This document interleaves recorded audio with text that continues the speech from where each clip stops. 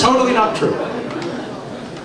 One, two, one, two.